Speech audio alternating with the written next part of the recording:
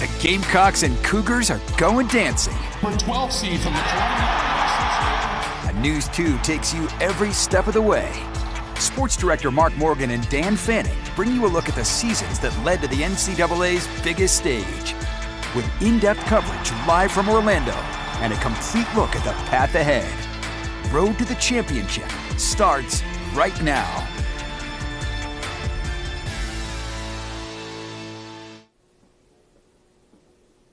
And with that, we welcome you to Road to the Championship. I'm Mark Morgan reporting live from Orlando, and we have got you covered with team coverage, as you see right now. I'm live here in Orlando. My man Dan Fanning will have multiple live guests there in the News 2 studios in Mount Pleasant, and also Sophia uh, Sophia Radeball will also be on the College of Charleston campus, where she will take the temperature of those students, and I'm guessing their excitement is at a fever pitch. So we're going to talk about both the USC Gamecocks women's team and the CFC men, but we begin here in Orlando with the C of C men. 31 and 3. What a year. The 31 wins tying with the uh, Houston Cougars for the most wins in Division 1 basketball. Now the Cougars arrived in town yesterday. Let's kind of show you what transpired today here at the Amway Center to begin with. The Cougs uh, took the practice court uh, late morning, kind of shot around, uh, really just kind of a couple drills, getting used to the atmosphere, the lighting here, the rims, the court, really the whole vibe here at the Amway Center. Because remember, this is a different kind of deal.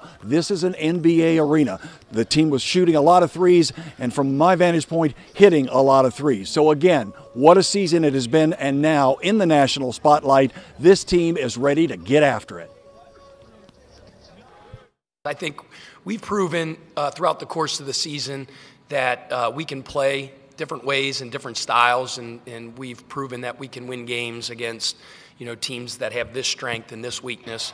I know one thing; it's not going to be easy. I think just just try to do what we do best. Um, we don't we don't try to look for the three um, as much as people might think, but we just try to get the biggest advantage shot that we can every time down. And I think we have good enough players to where if they do try to take away our three, um, you know, shot fake, drive by, uh, kicks, and stuff like that. We got things that make us why we're here, and that's what we're planning on doing. Um, being great at us, we say it all the time. You know, they got to prepare for us just like we got to prepare for them. But yeah, they're really good, and um, but so are we, and you know, we're, we're looking forward to it. It's going to be a good game. Every College of Charleston basketball fan knows my next guest. Everett German is alongside nine years voice of the Cougars. Good to yeah. see you, man. Good to see you, Mark. How are you? I'm good. I'm good. Everything's cool. Well, the reason we're here is this team, right? You follow this team obviously a long, long time. What makes this group different? I think it's just really the team chemistry. These guys really, really uh, play for each other. Uh, they, they always want to see their teammates excel. They don't really care who gets to shine. And when you have that type of mentality and you play as hard for yourself as you do for your brother, good things tend to happen for teams like that. Why do you think Pat Kelsey has been able to implement that type of culture, Everett, in just two years? I, really, that's just there's no no deviation from that. I mean, I think when he brings kids in, he lets them know what's expected of them. You know, it's always the ABCs, you know, academics, basketball, and character. And he just won't take a kid because he's a good basketball player. It has to be more than that he he wants missing pieces, and so for his ability to get guys to buy in, kind of just fit their role, uh, not be selfish, just do what you do best. That's why I think he's had so much success in these two years. Okay, quickly, the key to tomorrow for the Cougs to win. Uh, well, shooting. I mean, you can't you can't win games if you don't score points. And uh, fortunately, Charleston was able to win the CAA tournament without shooting the basketball fairly well. But don't think that'll be the case tomorrow. This San Diego State team, they're big, they're physical. Uh, they allow their opponents to shoot just 29 percent percent from behind the arc.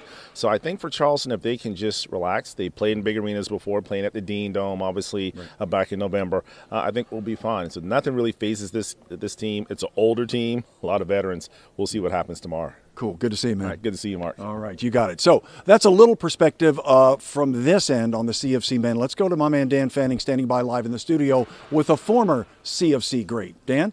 Yeah, Mark, that is right. Someone who knows a thing or two about the college and the NCAA tournament. Please be joined now by Sedric Webber, CFC Hall of Famer. And Sedric, you went dancing three times with the college, including that upset at 97 over Maryland. What do you remember some about those trips?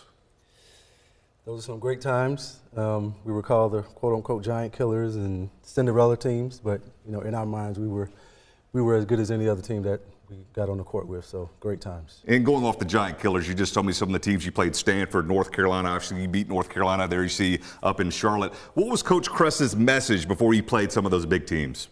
Ooh, which message? Uh, he had a lot of messages for us, but the bottom line is we we were always prepared, and our message was to leave everything out on the floor. You know, we were a team that you know didn't care who scored what. We just was all about winning, and we did whatever it took to, to win the game. And even though that you graduated from the college, obviously you're still around the program a lot. What impresses you about this year's team? What impresses me, I actually had a chance to, to go to a few games, and I went to the locker room um, at the end of one of the games. They remind me of our crews um, because they, they leave it all out on the floor. They go hard. Um, they, they shoot a lot of threes. That's something that Coach Kresse didn't allow us to do. But, you know, I, I think just the culture of winning, uh, which is what we were all about when, you know, my crews came through my basketball teams.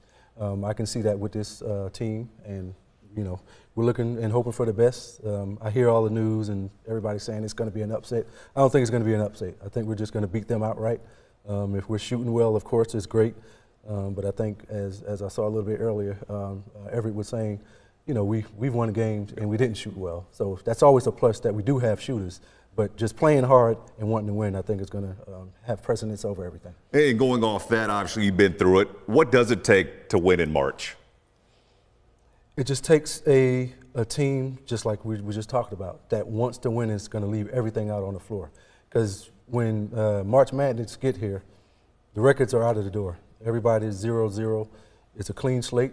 So whoever goes out there and whoever has their game plan to win and put it all out there on the floor and leave it all out on the floor, just may the best team win. Because once again, you know, you got a lot of teams that shoot threes, but whoever can shoot those threes along with everything else, I think will win the game. I know you're very uh, prideful of your, your university and your oh, basketball yeah. program, but just right now, all the national spotlight that CFC is getting, kind of what does this mean to you and the former uh, CFC players that played with you? Sense of pride. You know, we, we've, our teams, you know, did have some national uh, spotlight, you know, back when I was coming up, and it's kind of a lull here and there. But yes, it brings back a sense of pride and a sense of, you know, the College of Charleston is relevant uh, once again. Uh, we've always been relevant, but we wasn't in the, the spotlight nationally. I think a lot of teams knew and the nation knew, but now we're back on that main spotlight, and you know, hopefully we can keep it going and, and and go deep into this tournament. That'd be nice. Sedric, again, I appreciate your time and uh, thank you for coming in. We're yes, just sir. getting started here on Road to a Championship. When we come back, we talk about the USC women. Stay with us.